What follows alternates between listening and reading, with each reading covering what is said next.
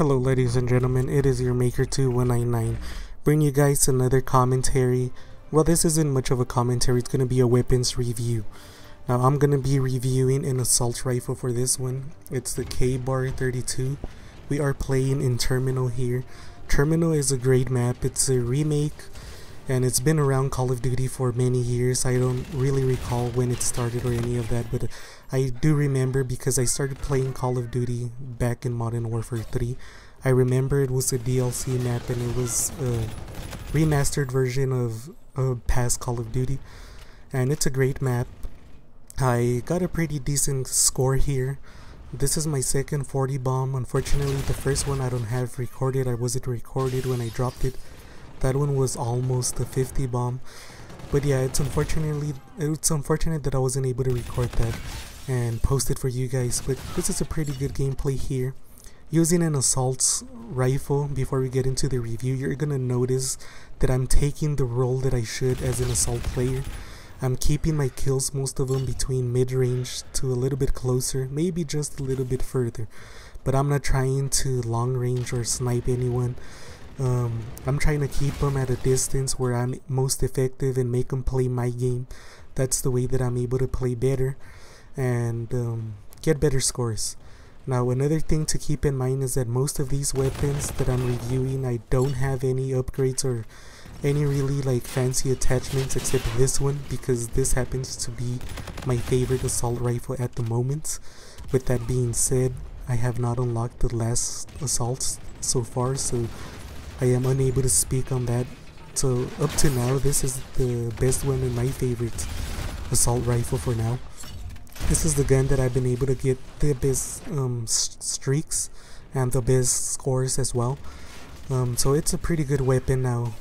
Let me start with the bad parts of the weapon first. And um, this is my second time recording this video because I decided to re-record it because the first one wasn't as informative as I was hoping it would be it was a bit more it was a little bit weird it went off on a tangent and I really do dislike that but let's start with the bad. The bad of this weapon is that it doesn't have enough power or it doesn't have the power that I would like it to have. Now I have upgraded it a little bit like I said and that's only because it's my favorite weapon. Um, this is the only weapon I believe I've upgraded. Other weapons are untouched so the review will be fairly accurate. And I do find that that upgrade helped me out just a tad. The upgrades are not super helpful. Any player with skill will be able to take you out anytime, and um, and that is just the way that it should be, I believe. Um, I don't think there's anything wrong with that. Um, I, it would be stupid if they would be overpowered with upgrades, because people would be great because of updates, not because of skill. But yeah, um, these upgrades I don't feel like it's adding too much more to the weapon and making it an unfair, you know, thing to use or to review. Like, I don't feel like I have to upgrade other weapons to be able to review them. This weapon does lack a little bit of power. That's the thing that I hate um, most. Besides that, and it has a pretty small magazine, you know, 30 shots. For me, that is insufficient. Especially when you're going up against multiple players at the same time you do need that extra power or extra ammo, one or the other. This weapon lacks both in my opinion. It doesn't have enough ammo. Like if you're gonna make a weapon and not make it powerful enough, add a little bit more ammo to it. This can be fixed with attachments. I will not be reviewing attachments because I feel that's more of a player thing. Um, and I don't want to go into stats either because I feel that people get caught up on stats and they use a weapon because statistically it should be better on paper, but it really isn't for you. You need to play with the weapon that is catered for your game style. I've said this in the past and it's so true. Use the weapon that works best for your game style. Don't try to use a weapon that works better for another YouTuber or statistically better or whatever on paper. Use the weapon that works best for you and um, that's the biggest tip and the best thing that I can give you guys in order to increase your score um, map is a map awareness like you can see there you know just being aware of the map and surroundings it's going to be extremely helpful and I got saved and then I got killed as I'm saying about being aware but yeah um, there's some things that you cannot change, I guess. Some people are just sneaky. but yeah, um, do keep in mind that we. So, with this being said, you know, let's continue with now with the good. You know, the good about this weapon is that it's it, it melts people pretty good. The um, it doesn't have a lot of recoil, which is really good. I found this far, and um, being able just to keep it on center on the chest and then move it up to the head and stuff like that is fairly easy to do with this weapon. Um, because there isn't much recoil, it's really controllable, and that's like the biggest plus for me. I do tend to be a bit accurate and a bit inaccurate and most of my most of the time when I'm inaccurate is due to recoil. I'm sure most of you guys will feel the same and that is just something to keep in mind. Um, because of the low recoil, you are going to be better able to get some kills and use your aim as an advantage and um, take out other players that are not as skillful as you.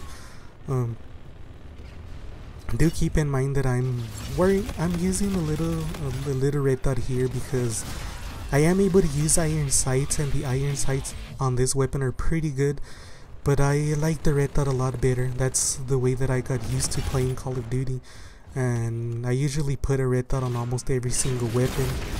Um, I do use them without red dots. I'm pretty sure I should have some footage on my channel by now of me not using a red dot and still doing good but the red dot just helps you get that little bit extra I get accuracy. So and I do feel that this weapon for me in my case it does need it. And usually for most of the weapons that I use I feel that's the case for me.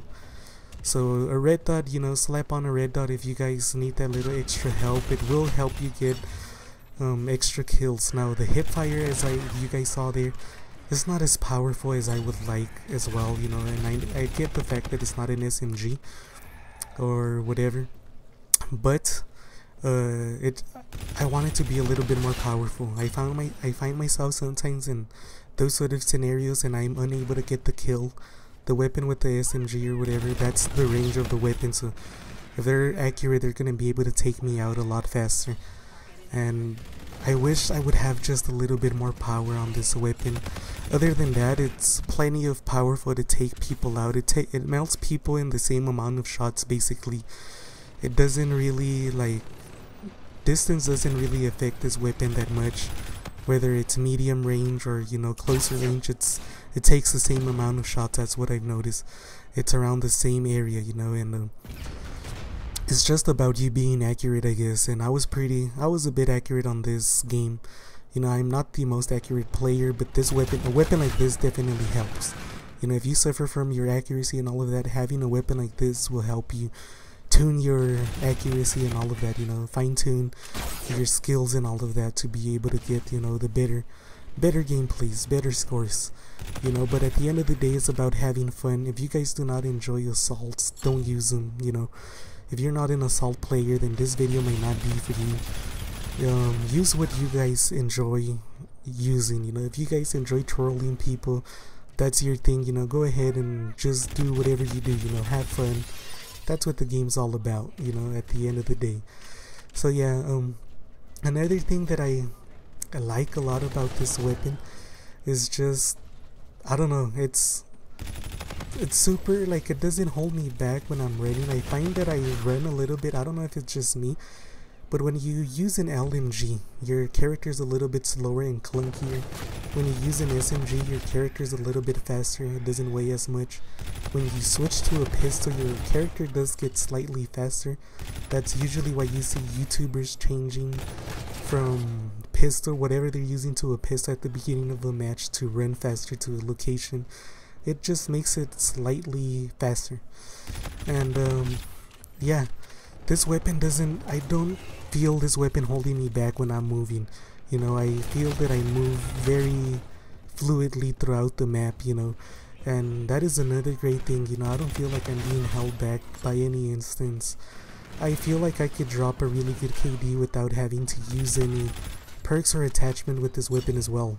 And that's a great thing you know. For me this weapon so far gets a 10 out of a 10 because it's the weapon that I've been loving most. It's not the one that I've been using most Um, I snipe a lot more than I should. I've said that in a few videos, but it's true.